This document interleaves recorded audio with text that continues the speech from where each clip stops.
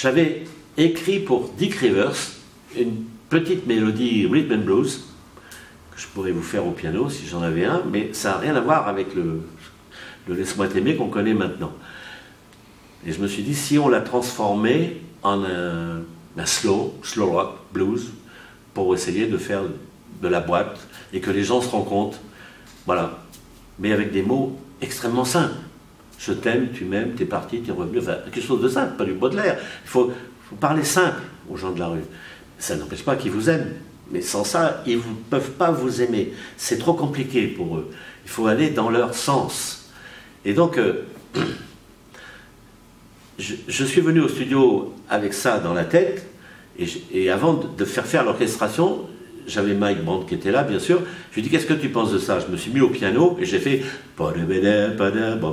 et il m'a fait euh, en israélien ce qu'il a entendu lui, c'est-à-dire euh, euh, n'importe quoi. J'ai entendu Laisse-moi, je ne savais pas quoi. En reprenant ma voiture après, en rentrant chez moi, j'ai entendu Laisse-moi t'aimer. Voilà, voilà comment c'est commencé. Le lendemain, on avait rendez-vous pour qu'il puisse essayer la chanson.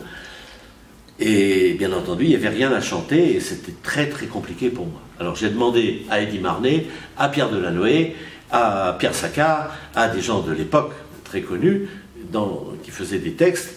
Personne n'a voulu faire le texte tout de suite puisque tous ils m'ont dit mais c'est qui? Est-ce qu'il est connu? On a déjà des choses à faire. On est sur l'adaptation de, de Starmania, de tout ça. C'était le cas de Pierre Delanoë et tout ça. Je dis ben bon, je vais être obligé de faire le texte. C'est comme ça que je suis redevenu auteur. Parce que j'ai commencé comme auteur dans les cabarets à Paris quand j'avais, voilà, la vache enragée, j'avais 30 ans. Alors donc j'ai été obligé d'abord de faire l'orchestration et ensuite de fabriquer moi-même le texte.